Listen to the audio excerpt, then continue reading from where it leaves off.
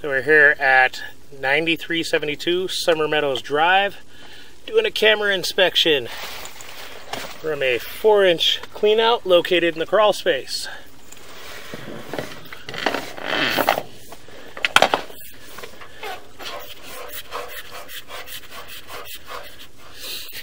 Here at a foot and a half we transition to SDR piping as we leave the foundation of the home.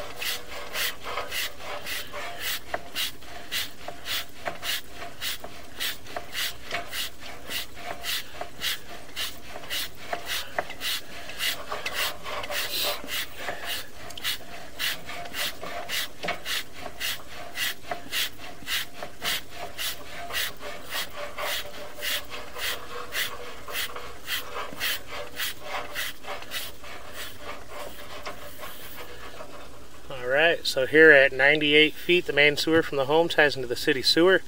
Line is constructed of 4-inch plastic composites throughout. See no major issues and or causes for concern with the sewer line at this time.